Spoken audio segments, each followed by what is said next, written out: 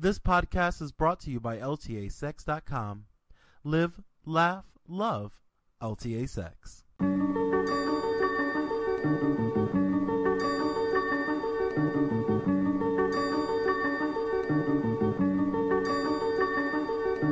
Welcome to Behind Closed Doors, the podcast where we teach you what it really takes to have a perfect relationship. I'm your host, Jerome Stuart Nichols, sex educator and creator of LTASex.com. You know, those glossy Instagram selfies look great, but they don't tell the whole story. There's a hell of a lot that goes on behind closed doors that makes strong, healthy, and sexually satisfying relationships. From the basics of communication and fighting fair to full time DS relationships and navigating the politics of polyamory. Behind Closed Doors offers you the expert advice and first hand experience you need to get and maintain the relationship that's right for you. To keep up with the show, visit ltasex.com slash behind closed doors for links to everything regarding the show. Subscribe to Behind Closed Doors on iTunes or Stitcher.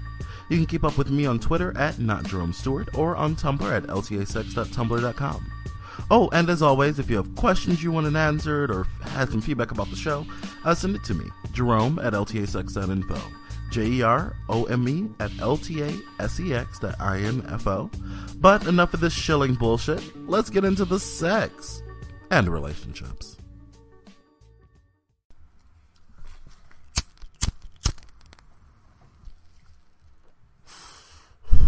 Hello, you guys. Welcome to another episode of Behind Closed Doors. Once again, I'm your host, Jerome Stuart Nichols. Uh, right off the bat, I do want to apologize for not having a show last week. Uh, things have been sort of up in the air. Mubby's been sick, uh, and I've had to work his shifts at Ollie's uh, on top of my shifts and all the other shit that I have to do. So, uh, getting another episode out has been extremely difficult uh, with all that going on. So, thanks for tuning in this week. We've got a great show for you. As you can probably tell, I'm a bit tired and sort of like.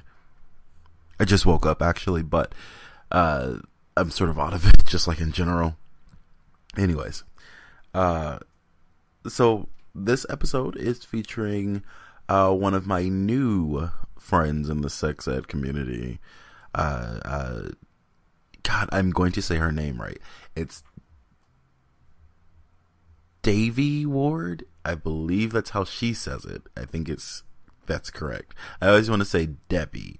I her name is spelled D E V I, uh, but I know the V is pronounced like a B, or the E is pronounced like an A. I think that's what it is.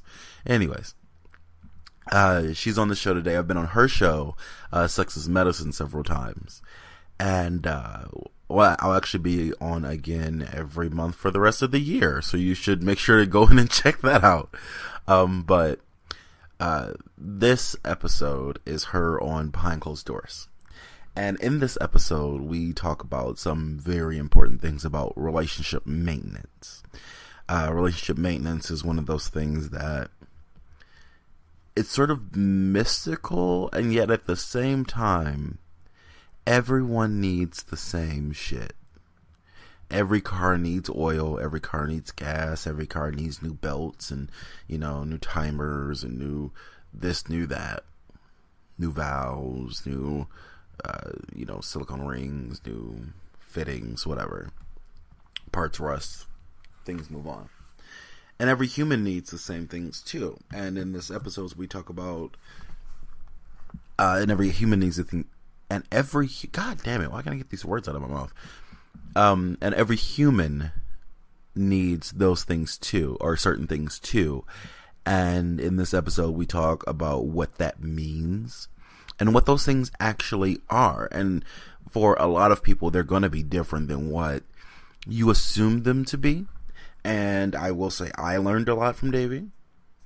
And I think you will too. Um, if you are a person who is not great at making relationships last long term, uh, that is some. This episode is something that you'll want to really take listen to and try to apply it uh, in your life in some way because we are the things we're talking about here. They're just simple and they're not for romantic relationships exclusively either. They're for friendship relationships, parent relationships. These are just simple human needs that must be met uh, in order for us to live a happy, healthy, and functioning life. And it involves uh, how other people treat us. I know it's weird to think of uh, things that way, but the fact of the matter is we need people in our lives and we need them to help us and we need them to give us certain things. And emotional things are just as important as, you know, food and a roof over our head. So, uh, without further ado, well, with a little further ado, because, you know, I gotta shout out my Patreon babies. If you would like to become one of my patrons on patreon.com, uh, make sure to visit p-a-t-r-e-o-n that's patreon.com slash keep it sexy um, in order to fund the show uh, and fund all the stuff we do and make sure that we're not missing episodes as i said a couple episodes ago um, to make sure that we're not missing episodes your donations uh, mean a lot. Um, when i'm talking about the stuff that we make here i do also include like anytime we have a uh, sponsor post or something go up on the site, I that money goes back into LTA Sex. Like just recently, um, the Patreon money that I got from uh, the last month and a couple of uh, sponsor post things that we got put together, I was just able to buy a new router, a new wireless card, and a new uh, RAM stick for my computer. I bought a new computer earlier this year because mine was uh, falling apart physically. It still works fine, but I can't like take it with me anywhere. It also weighs like seven pounds. It's a desktop replacement, but I bought a new one that I could take with me everywhere that functions, but it was a bit underpowered and I knew I'd have to like upgrade a little bit later and the upgrades are cheap. But um, you know, I have bills and things, so uh, it becomes like a oh well maybe i should not um, spend that extra i think it was like a total of 80 or 90 dollars total that that i spent to do everything. They haven't gotten here yet but uh, they'll be here in the next couple of days. Anyways uh, so it's it's important that if you like what i do and you like uh, the show that you continue to support. Uh, now I'm going to go look at all my current patrons and give them a shout out. So uh, we have Emily Cardona, Stephanie Axberg, and of course Devi Ward, who's on the show today, uh, Maxime Hernandez, Jiz Lee, and Marcella Cruiser. I do want to thank all you guys for your support. And again, if you'd like to become a patron, patreon.com slash keep it sexy uh, without any further ado, any actual further ado, uh, you can uh, catch us, catch me on Twitter, Twitter, Twitter. I'm at not Jerome Stuart. The show is at BCD Pod, and uh, LTA Sex is at LTA Sex Blog. Uh, I'll be pulling back off of Facebook because it's just not worth my time. So if you want to keep up with me, it's either going to be on Twitter or Tumblr, and that's ltasex.tumblr.com. Thanks so much for listening. And as always, let's really get into the sex and relationships. So, yeah, okay, we're live now. Cool. So, you said you hadn't been in a relationship, like a relationship relationship for like how long? Well, a, a, like an actual committed, like monogamous relationship. So let's see. I so this is my history. So eh, I and I forgive me, I'm really not good with years, but something sometime like around 2012, I started remembering, like vividly remembering my sexual abuse trauma. And um, up until that time, I had like hints, but like I started actually like remembering it happened and just like had like this really deep process. And I was married at the time, and things weren't really working with my husband anyway. And then this came up, and I was like, "Fuck, man, I hate men. I'm never gonna touch another man." so, um, so I happened to manifest a beautiful lesbian to be in relationship with. She was beautiful and amazing and incredible and very healing and yummy for me. And um, I was living in Vancouver at the time, and I'm not Canadian, so I needed to leave the country. So I left the country and went to Detroit, which is where I got to see you, uh, which is never uh-huh. never a good situation for me, and and really pretty much went back to the source of my trauma. I mean, that's where it all the shit went down, right? So I'm in mm-hmm. Detroit and I'm like up to my neck in emotional processing and trauma and this, that, and the other. And my girlfriend was still in Vancouver. So we had this like long distance relationship, which was actually really good because I was completely not interested in having anybody touch me at all, uh, given what I was going through. Um, and but there was a lot of emotional support with that. And then we would see each other occasionally. And then I, then a year later, I ended up moving back to this side of the country, which is the Pacific Northwest, and so we could actually see each other in, in person more often and um, and then uh, as, as, things happen and change, as they, I came back and I had moved to another level of healing, and I was very interested in exploring men again, and uh-huh. that was really not going to work for her, so we broke up. So in 2000, I, I remember the date. February 21st, 2014, I had sex with a man again. so like I just want you to know that was that was 2010 you said? No, no, 2014. 2014. Okay, that is LTA Sex's fourth birthday. Oh, yay. Happy birthday. so February 21st, 2014 is uh I had sex with a man again and it, I discovered that I really liked it. It was awesome. So I was hooked, right?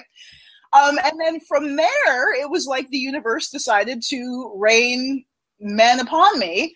Um, and so the the the first man that I, that I ended up having sex with, I I really he was I was really into him. I really liked him. I and I, I mean we we actually saw each other like consistently for over a year, but he was really not interested in having a relationship with me. He or like an actual committed relationship. We had a relationship, but it wasn't committed he would never call me his girlfriend. You know, I never got to go home to meet his parents. He was, I was his side chick, pretty much, right? Um, or friends with benefits. So that was that was pretty painful for me because I was really into him and I couldn't fathom why he wouldn't want to be in a relationship with me because the sex was so freaking good. It was like, it was such good sex. And yes, I will base a relationship on good sex. I totally will. After a lifetime so of sex. Hmm? It's so important. Oh, it is. And I spent most of my life having crappy sex. And so now that I know what good sex is, I'm like, I will base an entire I don't care if if you know we don't really think the same.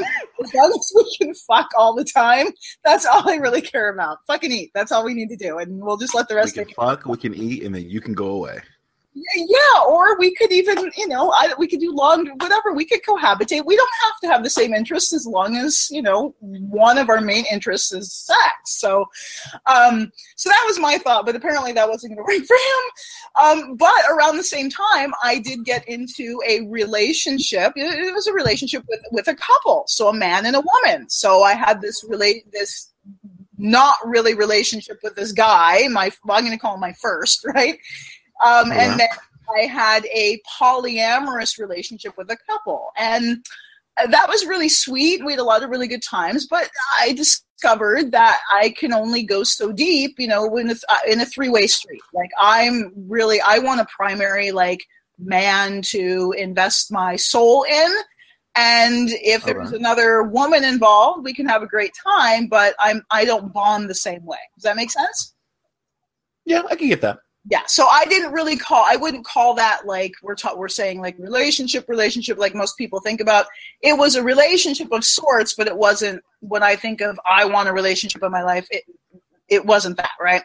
So then there was a then i play i did a lot of playing. I had a lot of real i would i had a lot of really good sex over in the past year with a few different people. And you know we we did practice safe sex in case anyone's concerned, obviously. And, and some of these people were sex educators themselves. So we, you know, had the conversation and all got tested and made sure everyone was all, you know, hunky dory and on the same page and in the know.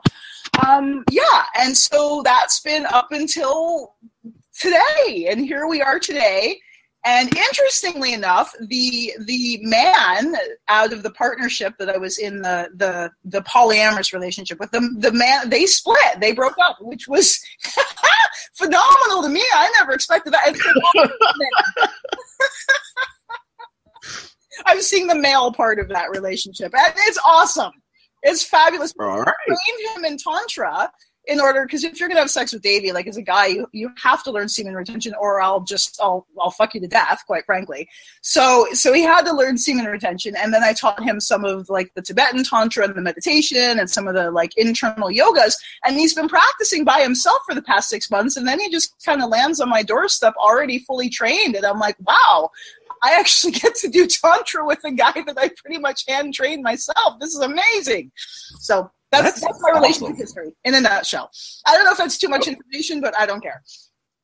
Honestly, no. I, I, I love hearing different people's uh like their relationship ba- backgrounds because they're so each of us have our own journeys to sort of getting to the place that we are. Like for me, I don't I don't know if we've actually ever talked about this. I don't know if I've talked about this on the show ever really, but um for the first 20 uh 25 26 I'm turning 28 in like a week. Um, I, yeah, 26 years. Thank you. Um, I, I, I never had a relationship, like a committed relationship. Um, I was, you know, fucking around. I was having fun. I was, you know, going to sex clubs and doing fun stuff, you know, like people do. yeah, you know, the normal things going to sex clubs, playing, you know, nipple twisting, that kind of thing. Good stuff. Exactly. And then all of a sudden, um, I took like a two year break uh, that was started when I was like 24. I was I was spending a lot of time internal on myself, mm-hmm. uh, figuring things out and like how to be a better me and how to live in my head and my body. Mm-hmm. Mm-hmm. And then two years later, I'm, you know, in, in, a place that's much better. I've got my depression under control. I've got my anxiety um, coming around to being something that I can like manage without knowing that it was there quite yet. I've got, um, you know, m- my life is sort of stable. And in walks this boy. And, you know, one day he, he, I met him on the 23rd of February two years ago. Oh, um, something about February and the 20 for the, that's like, that's like the prime weekend for both of us, Jerome. I know. It's pretty great. Wow. I can't wait till it comes around again. We'll have to have some sort of celebration. Absolutely. It's, it's like a, I think I think there's something in the air in February. Yeah, I would agree, and I think it's like um, desolation from the winter and like depression and um, like oh my god, we somebody take me to Vegas, please, kind of thing. Honestly, though, I, if you if you think about it like with the way the seasons move, right? I like I like to put a lot of nature into the way I think about how people behave. So if you if you think about the way nature is going about that time, so winter's just about over. If it's not over already, I think it's over January twenty something. No, so we've already. Hmm? I was just gonna say, but it's cold as fuck in January and February. Like you live in Michigan. What do you mean winter's it's cold? well, yeah. Okay. Winter, by the way, the earth is rotating. Technically, if it wasn't, you know, whatever the way it's supposed to. Be. Yeah. Anyway, it's it's winter's yeah. over until like May in my universe. Exactly. So like um you know if you think about it like what happens in winter you get a lot of like cleaning of things like the world opens back up and then you have like this refreshed world that's been washed away yet preserved for months and it's exciting to go back out and re-explore that again. Yes, after the cold, deep freeze, to poke your nose out from the cave and frolic. but that new, I hear what you're saying. That's a, there's a, at, the, change of seasons, there's a burst of new energy. So even just now, like the season changed from summer to fall, I seriously mm-hmm. felt that burst of energy, like inside of myself, but I'm also noticing it like around me and in business and like you know, clients, mm-hmm. they're calling and that kind of thing. And there's just like this burst of energy with back to school. So anytime the seasons shift, there is a burst of energy that's let loose um, atmospherically or, you know, however you want to think of it, planet wide or inside of us or all of that. and that's beautiful. And like, okay, so going back to my relationship history. So in walks this boy and he just sort of never leaves. Oh. and you know he's still here today, and now he's in the bedroom. He bought he brought me um some bacon, and that's how you know it's true love. Yes, bacon. I'm gonna have to try that. I'm gonna go buy some tonight. I've got I've got my I've got my lover coming down for the weekend tomorrow, so I'm gonna go buy bacon. And oh god, you yeah, know, he might be the one. if you're near a Trader Joe's, try and find beef bacon. Ooh, okay. Well, I am near Trader Joe's, but I, it's not within walking distance, and I'm not going to drive all the way to Trader Joe's right now. So, um, so I'll just buy him some normal bacon, and we'll save the beef bacon if he comes back. That'll be the second. That'll be the second weekend. That'll be the prize for for for for being the one. Um, but yeah, so like my relationship history is sort of, I guess you could say it's sort of sparse. Uh, because until this last two years, I hadn't been having like any longer term relationships with people. I've had um in the past I've had uh like fuck buddy relationships or friends with benefits relationships that's lasted, you know, I have one that's still going on from 2006. Oh, wow. That see that's a long-term fuck buddy relationship. So that's kind of like what I was with with guy number 1, like my first this last, you know, year and however long is like we were like long-term fuck buddies and that is a relationship. It just isn't a you know, whatever, I guess, committed relationship or a full relationship. It's like a partial relationship. Right. And and committed relationships are so much different. well, I didn't know. Well, tell. So, what have you found in being in committed relationship? What What is different for you? It's like the the sex part and the fun part that you have with like a friends with benefits it's it's essentially the same. Like that part it doesn't really change.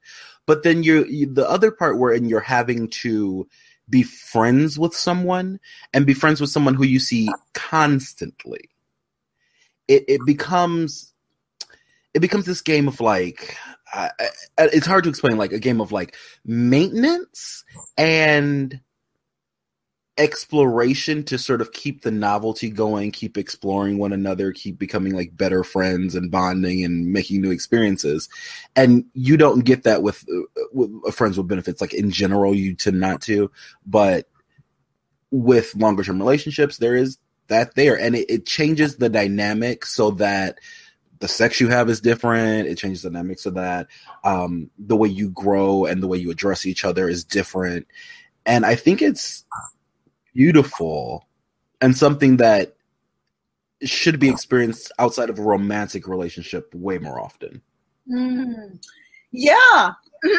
I think you know the thing with friends with benefits is you don't really see each other that often. Whereas with or or you may, I mean, you may see each other like somewhat frequently, but you're not like living together and you're not embedded in each other's lives, right? You're not like hanging out necessarily and going to each other's parents' house for Christmas and that sort of thing. So you're not building a life together. So the building a life together is a different quality, and I'm really looking forward to doing that with somebody that I'm like is really hot and I'm really in love with because I have I personally haven't had that experience. Pardon me. I have had what I would call, I mean, long term relationships like a year or more, but they haven't been relationships with people that I've been in love with. They've been more out of like, okay, I guess this is the best I can do. that is wow. Just being totally transparent, you know. I've been through a lot, a lot of different cycles in my life, and uh, I'm glad that's no longer part of my cycle. But that's been, you know, that's that's been a, I would say, a missing piece for me. It's actually the whole like falling in love and staying in love and and then like building a relationship from that that's i mean i was married and i, I that wasn't even the way it went for me right? So and my, my that's true for so many people. Yeah and so my particular pain was the guys that i fell in love with like didn't want to be in a relationship with me. And the guys that i wasn't really in love with i was like oh, okay well you know we'll do this thing because you're okay. I kind of like you. You know, we're good friends. It was good friends, but I, I didn't have that in love, right? So yeah. I'm very much looking forward to in my as I move into my middle years to having the experience of being madly and passionately in love with somebody. I and I'd like to get to the point where I got bored with them. Like I would love to get to the point where I was bored with the person that I was in love with 10 years ago. That would be awesome. because that that just means you're like at the cusp of like learning something new and fun about them. Exactly. Exactly. Because I've never had that experience like, of looking at someone you used to love passionately 10 years ago and being like, I'm bored of you. That's, that's never happened. I would like that experience. So I was telling that to a, a friend of mine and he was like, I don't think anyone could ever get bored of you, Devi. And I was like, oh, sweet. Yeah. And he's, he was hot too. I was like, well, you want to try? you gonna try? You know, you hang out with me. You know, and party. You know let's see if we get bored. yeah, let, us see how this works. Um, but like, you know what? It's it's it's interesting talking about relationships because it's it's not. Ooh, it's not anything like what you see on TV or or anything like our parents say or our friends say, and real relationships. Like I I love that you said um, that you were just sort of like, hey, this is the, the best thing around right now. And I, I've, I, yeah, like I, I was sort of flabbergasted by that. But then I, I was thinking about it. Yeah, I've totally done that. I think everyone's done that. Yeah. Yeah. Yeah. Yeah. I mean, and, sorry, go on. Oh, you're fine. Go ahead. No, I was just gonna say, and you know, and a lot of it, I mean, that to me, that's like, I mean, I'm I'm not afraid to say, like, self worth has been one of the biggest things I've struggled with my whole life, given my history. I mean, like, you know, we won't even get into that, but so that was like a huge thing, and that was a huge factor in it. And as my self worth, as I've like, you know, understood myself to to be like a worthy, valuable, incredible, amazing human being, of course, the choices that I make are going to be more reflective of that state of mind, right? So I think uh, for a lot of us, a lot of women too, a lot of women, especially I'm going to say, or the women that I've encountered, there is that, oh, well, you know, I can't really have what I really want factored in, especially when we're younger. And we're not really taught um, as young people, as adolescents, like how to choose partners and how to be in integrity with ourselves and how to um, be in integrity and choose relationships that are healthy and empowering for us and what that would even look like. So we don't receive any education. We're just kind of thrown out into the world of dating and, you know, and it's a fucking mess. and I'll say it's not that different for men, for men because uh, I, I have found that settling is something that we're sort of taught to do. Yes. If they you know if they if they hit all these certain check marks then we should be okay with you know having them in our lives and we should ignore all these like buzzers and warning sounds in our heads that are telling us that like this is not the best possible thing for us because it's the right thing for us. Right exactly. Exactly. And you know and, and depending on the culture in which you were raised or your the you know economics class that you were raised there's all different kinds of factors. Like does this person like you're saying fit the bill? Does they and a lot of those factors may perhaps be superficial. Do they look good? Do they you know do they have tattoos or not? Or the, can you bring them home to mama kind of thing? So um, there's all these other things that factor in and and i just am really grateful to be where i am now in my life so that i can more i i really choose from my body. Like quite frankly like i really it's really instinctual and really like my body likes you and this is good. I like that. I i I am still figuring out how I how I'm trying to choose people. Uh, it's been very intellectual for most of my life, but I'm I'm realizing that that's just sort of what I do. I'm, I'm I just sort of pick things based upon uh, what is the most logical choice or the choice that I think is the best one, uh, and and the best meaning the best for me with the least amount of possible detriments that are, uh, let's say, deal breaking. Yes, it's pretty simple. Mm-hmm. Mm-hmm. Yeah. Um, but no matter what relationships we're in, right? It, it, it can be maintaining those relationships is difficult. I I'm in a our open relationship where we have a poly. You know what? I have to stop saying poly. mean polyamorous. I was reading an article um, by a Facebook friend of mine and a I guess a colleague of ours, uh, Ada Manduli. I have never said her name out loud, so I've probably mispronounced that. But uh, Mandalay, that actually sounds right. Ada Mandalay and uh, she was talking about how poly is a word for Polynesian people or uh, people of certain ethnicities. So it's already taken, and we should really uh, take care not to co-opt that word for something else. Yes, I read that same article. So I'm happy to say polyamorous instead of just poly. Because, you know, poly could be so many different things. As Absolutely. well, apparently it means Polynesian, but it, it, it means multiple, actually, is what the word is. Isn't that like a Latin root of something? Poly, Mhm. that like a mathematical geometric figure, poly something or other? Yeah, it's a word that just means many, right? So like polyamorous means many loves.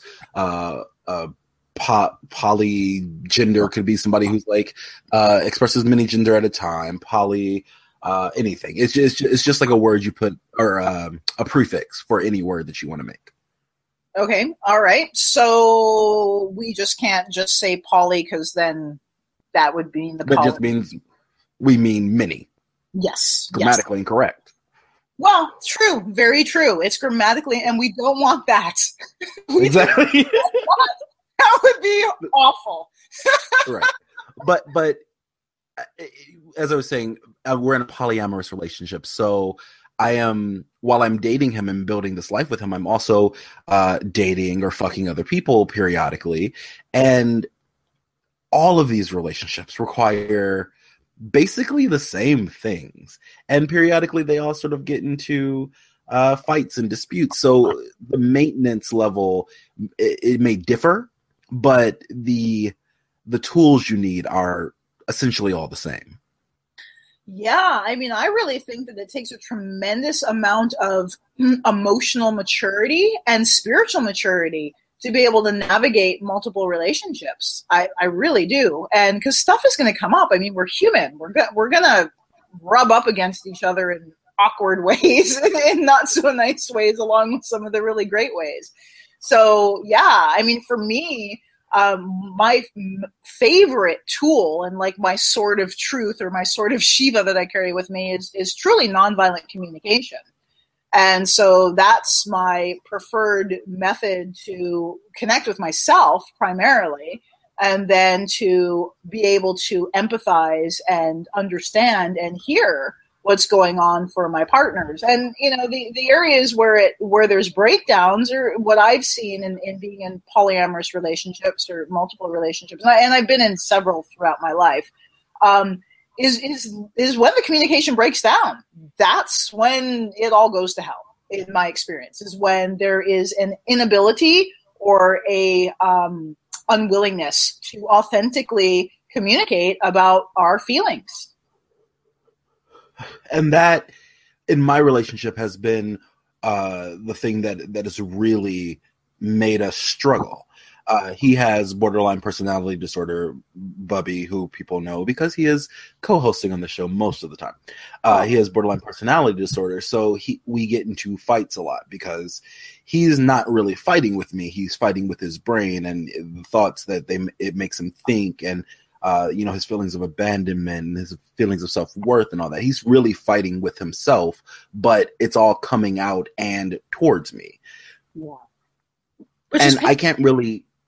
What were you saying? I said, well, which is painful to be on the receiving Yeah. end. Yeah. Absolutely. It hurts because um, when this stuff really got bad was after uh, he'd lost his memory. So I'd been with him through this amnesia. You know, I'd helped him relearn the world. I, I, I guess you could say I sort of saved him from his family because post amnesia they were being really uh, emotionally abusive, and being in that house was sort of like scary for him. And I've sort of I, I, I felt like how dare you sort of you know what i mean Yeah, yeah. After everything you gave and everything you gave up and all the support you gave for him to then come back with seeming ingratitude, I'm sure was deeply painful. yeah and and it, made me he had problems with resentment uh, a couple months afterwards when oh because we're also in a ds relationship so i take you know i'm giving him instructions and i'm you know asking him to do things and he he got resentful because he didn't understand what that relationship was anymore Mm-hmm. he'd agreed to it and we'd um you know learn and it was in the first in the first the first time that we got into the ds relationship it took seven months from the start of the relationship to the point where we were like okay um this is now like a full-time ds relationship and Uh, it is my hand that will guide, and it is your body that will do uh, the work. Essentially, that's sort of how we divide the labor. Mhm. And the second time around, you know, four months in, he is four months in from learning, you know, what a bus was or how money works or, you know, how his body works, how his digestive system works. So it, it's very difficult for him to, you know, grasp these concepts. And it's something I hadn't considered. Wow. I mean, you guys have been through some massive challenges. Yeah, yeah. It, it's surprisingly massive challenges that keep repeating themselves, but I'm Mhm. starting to think that it's just like a, a, a one of the costs I'll have to pay to be in a relationship with both myself, who, um, although I don't have borderline personality disorder, I have strong uh, anxiety and I also deal with depression. So you know, we we both can be fiery and irritable all the time. Yeah, yeah, that makes it that makes it challenging when there's already emotional difficulties or emotional imbalances going on because then you're just going to trigger each other. So that's yeah, that's but I mean the, having like amnesia and that sort of thing. I mean that just sounds like heartbreaking. Like wow, and you guys are still together. I mean I just commend you in spite of all the obstacles that you're making it work. That's phenomenal. Yeah, and and, and thank you for that, by the way. Um, and it was during this time where we were uh, restarting the DS relationship or trying to restart the DS relationship um, that we were. He was like in sort of the worst of his BPD I- issues. Um, they still come, but just definitely not as frequently. They used to be an every single day thing. Then they went to like uh, every two or three days, and now it's like once a week Mm-hmm. or something like big will happen. So the more he's dealing with it, the more he's able, uh, the more he's living with it, the more he's, the better he's able to deal with it. But back to what I was saying, when we were starting this, it, that was the time where the communication was breaking down. That was the time where um, it, things got physical, Wow. and I I feel like it, it, it- Although I don't like to say it out loud, and even uh, knowing that I'm about to say some more things is making me very anxious. But uh, it you know we would get into like physical fights. He um at that time he wasn't quite clear on like the boundaries of what that what that means like in a relationship of like once you cross that line like what that says about what's going on Mhm. I did, but I was also sort of in in these depths of like, why are you so freaking mean? I don't understand. You like you say I say these things and I don't, and you know you, you're you're claiming that I'm I'm never here for you, and then when you're mad, you like say these horrible horrible things to me that you say them on purpose to hurt me, and it's it was overwhelming. hmm Yeah, yeah, overwhelming and confusing and and just deeply painful. Yeah. Yeah. and especially when i'm coming at that with you know with my anxious side who's just like i am terrified and i'm i i, I don't know what to do so i need to get this energy out sort of deal right, right. So a need for expression and some sort of release. It sounds like, and so that's the way that you guys knew to kind of release that energy. Even I would say transform it because like you release it, and then it like it it causes change. Something's going to shift, and that's you it absolutely did Sure. Yeah. and uh, honestly that getting to that point was the pivotal turning point for us uh, to sort of uh, get us to like okay this is going really bad we need to do something to figure this shit out Yeah. jesus christ i just Something called background symbols flashing. Yeah, basically that's what it felt like. It scared the mess out of me. But you were talking about nonviolent communication, and that is something that I I, I want to explore more with you. Can you talk a bit more about that? Yeah, so nonviolent communication. A lot of people, the the the name itself kind of it doesn't do it justice because when you say nonviolent communication, people immediately think that well, when you're anger angry, you have to talk nice and proper and blah blah blah, and that's really not what it's about. It is a way, it is a tool for um, understanding what are what we refer to as your deeper underlying needs. So the basic premise is that as human beings, we all have core needs or core values that must be met, and they're universal and they're inarguable. Like if you have a human body, you you have to feed it, you have to water it, you have to give it shelter. You know, you have to it needs sex. you know, it needs connection. These are just basic, inarguable human needs. But then along with that, we also have needs for self-expression, we have needs for play. So so the idea is that beyond just the survival needs, we also have what I like to call your thrival needs, right? And in order to live a fulfilling happy life, we have we must have there are certain requirements for that. We must have needs for like meaningful work, contribution, um, love, connection, intimacy, pleasure, enjoyment. These are these are all requirements for living a fulfilling human life. All feelings that we have, every emotion that we have, everything we feel is simply an indication that one of these needs, one or more of these needs, is either met or unmet. And it's a very simple equation. Happy feelings means your needs are met. Unhappy feelings means your needs are not met. It's that simple. So when we're in pain, it's because we have some unmet needs. And so NVC is a tool for translating and uncovering what those needs are. Because when we get to the need, that is the point of connection. That is where life begins. And if we understand what the need is, then we can start to um, awaken or open to the infinite number of strategies that are available for us in any moment to meet those needs. Does that make sense? Absolutely. It, it sounds simple, and yet it sounds like something that would pass by most people because it's never been laid out in such a clear way. Yes. So, so you know, an example would be um, um, I was feeling really disappointed this evening. So my my radio show was canceled, as you know, because my my producer, God bless him, you know, I wish him the best. He's in the hospital, like getting blood transfusions or something insane. But I was feeling really disappointed this evening because I had a need for connection with my audience and i had a need for um, for meaningful work and, and contribution because i love doing this love doing this work and i love doing these shows. So i felt disappointed because my need was going to be unmet. And then you offered me the opportunity to be on your show and i felt excited and joyful because my need for connection with you was going to be met my need for play with you was going to be met and my need for contribution was going to be met. does that make sense? It does Yes. And I love how you said that. I love I love that you give your emotions and attached with what happened and why you felt that way. And that is something that's super super important to do when you're trying to communicate.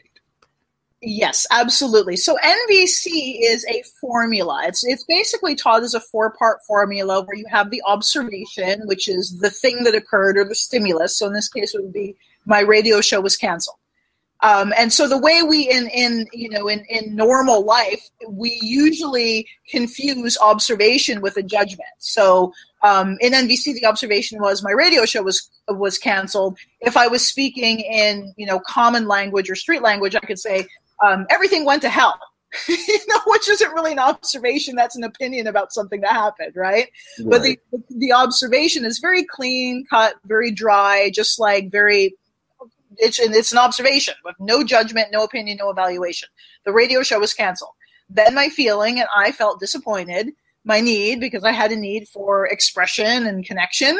And then the last part of that would be a request. So a request would be whether it's a request of ourselves or a request of somebody else. But it's it's an actual like it's it's a new language to learn. And I've been studying and practicing NVC since God for 10 years. So I've been doing this for 10 years. So I've got a degree of mastery and proficiency with it when I actually choose to use it. And I am going to say right off the bat that intimate relationships are the most difficult place to practice NVC. It's very Absolutely very easy to do on the radio show. It's very easy to do it with my students and teaching it in workshops. But in intimate relationships, whether that's your lover or your mother or your brother or whoever it is, and even the founder of it, Marshall Rosenberg, he's like, intimate relationships are the most difficult place to practice NVC because there's so many emotional triggers. And when we're so triggered, you know, like nails on chalkboard, when we're that triggered, it's really hard to stay present and it's really hard to give ourselves or anybody else empathy. Yes, absolutely. And I will say that it, that phrasing is a lot of what I was feeling and a lot of what was going on when we were uh, me and Bubby were having our uh, big big fight period. Uh, we just weren't able to you know give each other empathy because we had been triggered by you know certain phrases and certain things that had been powerful uh, powerful for us in our past. Exactly. And and one of the golden rules is you cannot give empathy if you need empathy. So if two people are in pain together, they can't give each other empathy. They need to actually like go separate. Like that's the instruction in the training is like if you're both in so much pain that you cannot give each other empathy, it's not going to do any good for you to keep screaming at each other because you're both screaming for empathy. Whatever you're saying, you know, I hate you, blah blah blah. That's you're screaming for empathy. And you can't give it if you need it. So you have to actually separate and go get it either from yourself or your cat or your somebody else who can actually give you empathy.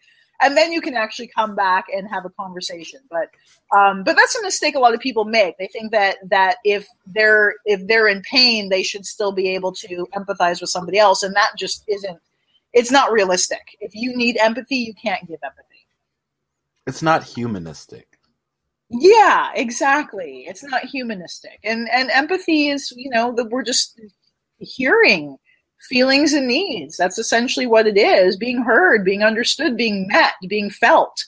And um and that's a beautiful thing. And it can like I said, it can be challenging when both people are are triggered. So one of the things that when it comes to like uh we were talking about clarity and, and the message of like what you're trying to say versus what you say. So, um, you know, everything went to shit versus I'm disappointed because X, Y, Z, right? Yes. I am a big proponent of getting rid of these like catchphrases or these code words from our language when we're trying to have a intimate conversation with people because when people say things went to shit, right? Or it's all fucked, or I I I I just cannot fuck I, I can't even, you know, things like that. What what we hear is that phrase, but what we feel is how we feel when we say that. And it's not the same. Yeah, exactly. It's not the same. It's going to mean something different for you than it does for me. Right. And then also the thing about saying things like, oh, well, you always I hate that one. Well, you always, or this always, or I always, and that kind of thing. It's like nobody always does anything, and it so negates all the other times when you weren't doing that. So, um, yeah, it's it's it's important to be cognizant of our language. But again, here's the thing: if you've never had any education or instruction, then you simply don't have the tools. And we can't negate the fact that we live in a culture that really does not prepare us for the most part how to relate to each other like I feel like our culture actively discourages us on purpose for that reason. Yeah. Well, yeah. If you keep people disconnected, and our primary disconnection is with ourselves, I got to say, like we were talking about earlier with the you know technology addiction and that sort of thing. It's like it's a way of disconnecting and disassociating and and ignoring what's going on internally I do it myself. You know, I catch myself. I'm like, yeah, oh, actually, no, I'm not going to turn on a movie right now. I'm going to go sit with myself and meditate, you know? So there's all kinds of reasons to disconnect and to not connect. And again, our society pushes these values on us. And a lot of the values are not about depth and authenticity and honesty and truth and standing, making a stand for the truth. It's not really what our culture is about, though it seems to be changing, right? Which is beautiful and i love seeing that more and more. Thank the internet for that part.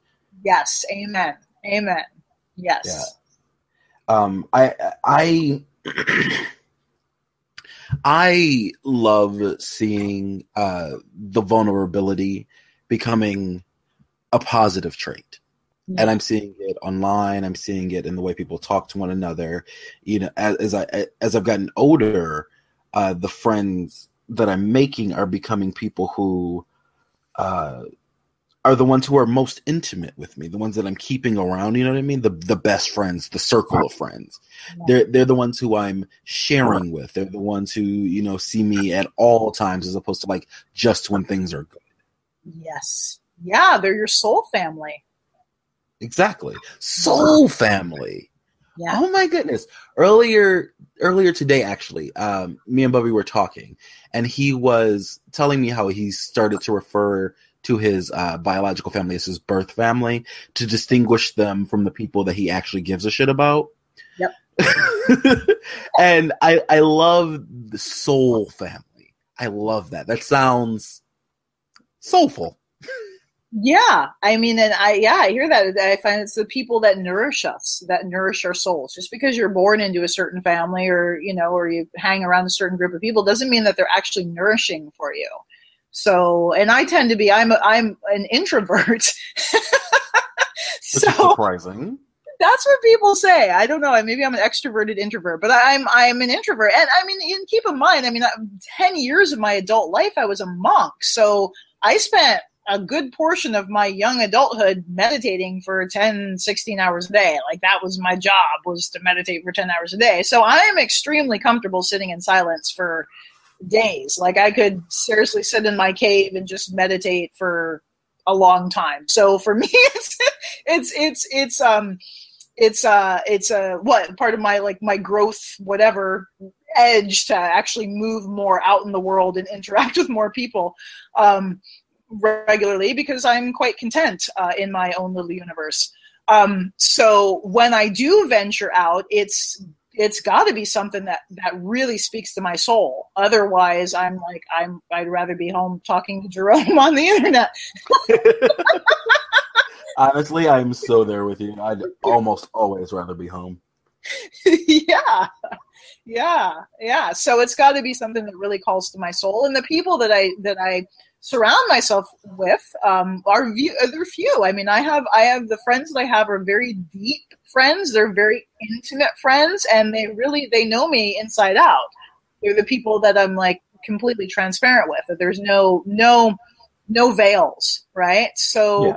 that's that is the way I love to function. Like I love to function completely seen and transparent and, and because that's how I understand myself, right? I know that like if I'm putting up a wall with somebody, I'm like, ooh, that I'm uncomfortable with something about myself. And that makes me curious about why and what that is. Yeah, I like that. I also like that you uh, you were talking about meditation earlier. Now I use meditation uh, as a part of my uh, growth and like I guess you could say centering. I, I think that's how people would refer to it. Uh, just getting in touch with me and my feelings and what's going on in my head.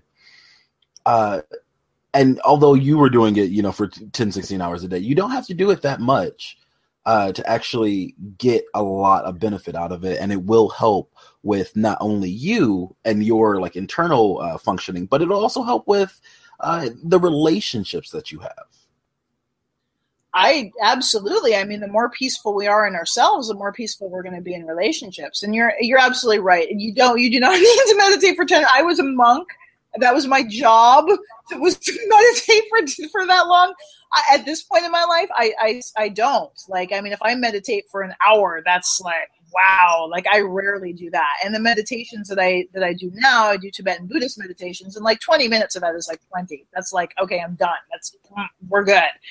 So, um, so yeah, I mean, I my students that I teach, that's the primary thing that I teach in tantra. That's a that's where we start because if you can't be present in your body, you're not going to have great sex. That's just a fact. Like you cannot have amazing, epic, orgasmic, you know, five minute orgasms, ten minute orgasms if you're thinking about the dishes or how your vagina smells or if your partner likes you or whatever. You you can't. So you have to be fully, completely present in your body, and that's a skill that you actually have to cultivate. So, um, so the meditation practices that I teach, we start at you know 15 minutes and then we grow from there. And I think the longest one is is only 25 minutes, which is not a lot of time considering how much time we spend on Facebook, or Tumblr, or anything else. Exactly, Pinterest. yeah, no, I for me, like in a practical sense, I, I the way I meditate I will literally just be anywhere, eyes closed. They, my eyes have to be closed, otherwise I get distracted by the world. Um, and I just think. I just sort of like let my mind wander in silence.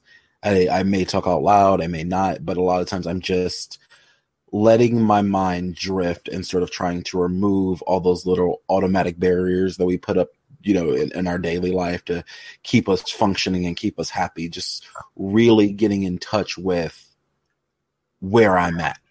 Mm-hmm. yeah so it sounds like you go to you go to you go to space. You just like let go of the uh, control and allow your mind to rest and relax in its natural state which is awareness that's our natural state is awareness. And the thoughts are like like the the the analogy is your mind is like the sky and your thoughts are like clouds. Okay. Yeah. I like that. Yeah. So it sounds like you're relaxing into the sky and and just letting the clouds be as opposed to trying to control them or engage with them just being the sky. Yeah. Sort yeah because in my in my when my eyes are open i'm always looking for things to essentially exert my control over, whether it be like to clean or to figure out a problem or to like make it work to manipulate it in some way. And with my eyes closed, I can just sort of I can't see anything and sight is so powerful to me that without sight I am letting go of um, a lot of the fears I have because I have to because I'm scared of the dark. Oh, you're so cute. Oh, cute.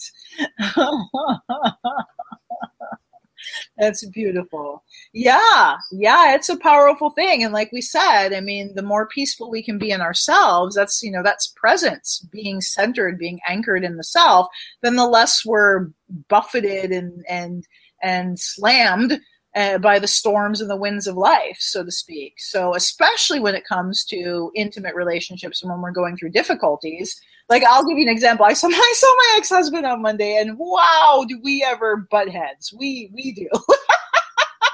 and uh, and and we we we were having a fight. We were just seriously having a fight, and um and we're both just like so frustrated. And he's like, "All right, let's do something different." I'm like, "All right, what are we gonna do?" And he's like, let's sit and do 21 breaths. I'm like, okay.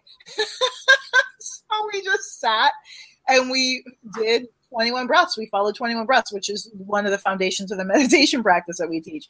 And we followed 21 breaths, and like all the adrenaline was coursing through our bloodstream was like got a chance to relax. Our nervous system got a chance to relax, and all that like fight or flight amygdala, like rah response got an opportunity to settle down and then we were able to actually have a constructive conversation instead of spitting pain at each other, right? right? So that I mean that's how we use meditation in the midst of turmoil and trauma. I was like, all right, let's stop this and put our attention on the breath. and, and, that's uh, that's a good way to do it. I, it's it's a it's a great method of decompression, which is a very important part of making sure that you're able to have like these very emotional discussions without um exploding i guess in, in like a, a more say violent way yeah without killing each other yeah.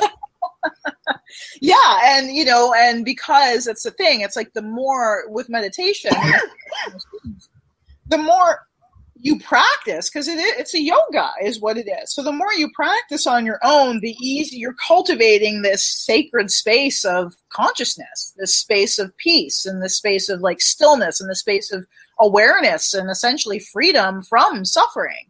And the more we're able to do that just on our own then we're when we're in these crazy fucked up situations or our emotions are getting the best of us if we make the choice to go back to our practice, it clicks in really quickly because we have that.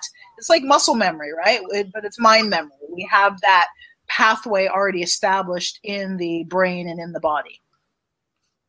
Right. And as you do it, and like the first times it may be really difficult, but I, I, can tell you from personal experience that it gets much easier the more you practice it, just like anything else. Yes, and and the thing is, is that most people aren't aren't well. Again, most people are not taught to meditate, and they're not meditating properly. Most people think that meditation means that you're trying to force all the thoughts out of your mind, which is not what you described, which is probably why you like it. So it's hell trying to force thoughts out of your mind because it's impossible. You're trying to do something yes. that's completely impossible. You cannot stop your mind from thinking. It, it, it's that's not the mind was designed to think It's you're taking your attention off your thoughts and putting them on something different. And that's exactly what it sounds like you were doing. You're taking your attention off of controlling your thoughts and, and the flow of your thoughts and just like relaxing into space. And yes, that is essentially what I was doing. I I often don't put uh, things into like uh, outward sentiments for myself which can which can be a bit troubling because then you know if I if I forget how to do it or forget why I did it, then sometimes you know when I'm in a dark space, it could be uh, harder to remember that. Oh yeah, I should meditate because that does actually help me. Mm-hmm. But yeah, that that is what I do. Yeah. Um, and I, I will say like other decompression techniques let's say um, one of the things that we do a lot me and bubby is that we just try to have time apart Mm-hmm. Yes, that's. And, and when you were talking about uh, the way you went and did 21 breaths when you were fighting with your husband or ex ex husband, um, that it, it is a par- a, a kind of separation. You're separating uh, both of your hurt and your anger, and you're sort of dealing with that in, in its own little silo, and then coming back together yes, we we didn't physically separate, but we disengaged from the battle. we put down our swords. and that's important because we we often forget that you know having swords up is not really super helpful because because we, we we feel sort of I guess protected by you know our, our biting words and our anger and our shell and our armor when in reality it's it's doing us a lot of damage just to have all that weight on your body.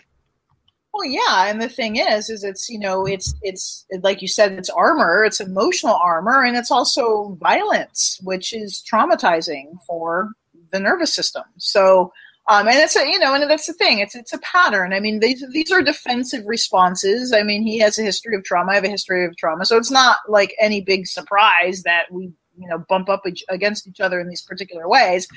Um, and it's you know it's quite normal. I mean, there's that's a lot of people walking around have are traumatized and have these defense mechanisms. So the key isn't making us wrong for having the mechanisms; it's being able to catch it and be like, oh, okay, I'm in defense mechanism mode. I got my sword up. I got my armor on. Uh, this isn't going to be productive. It's not going to be productive and effective because essentially what we both wanted was to be heard seen, understood, and valued. Those were the needs that were unmet. And they were so painfully unmet that we wanted to, our pain was so great that we wanted to hurt each other because of it, right?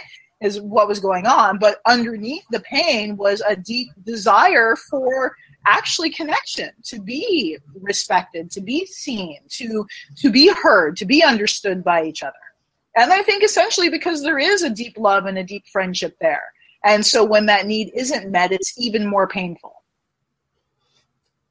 Yes. I um I was actually writing down uh seen, heard, understood, and valued because that is like I said, I don't often put things into like outside terms, but I really like those simple four things that we all need and we all want when we're feeling that way. Yes. Yeah. yeah.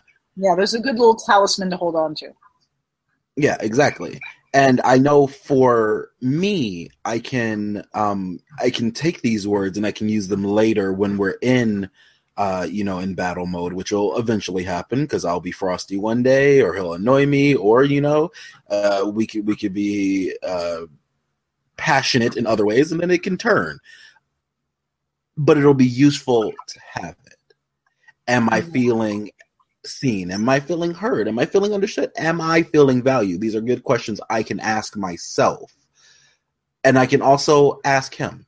Yes. Yes. Yeah, because those, especially in, I, I think in all relationships, I think those are really core human needs to be seen, to be heard, to be understood, and to be valued. I, though, that's it right there. And that's beautiful, and it's simple. Yes. Yeah. But and you know, uh, as we said before, these are not things that the world really wants you to know, but we want you to know it. Yes, we do because we want shiny, happy people holding hands. we do. We want healthy, happy people and healthy, happy relationships. Yes, exactly, exactly. And the way we do it is by acknowledging the areas that are shadows, really, and bringing them to light. Exactly. Um, and I, I, did want to make a couple more comments. It's about time to wrap it up, but I did want to make a couple more comments about um, ways in which we can make this whole thing work a little bit better.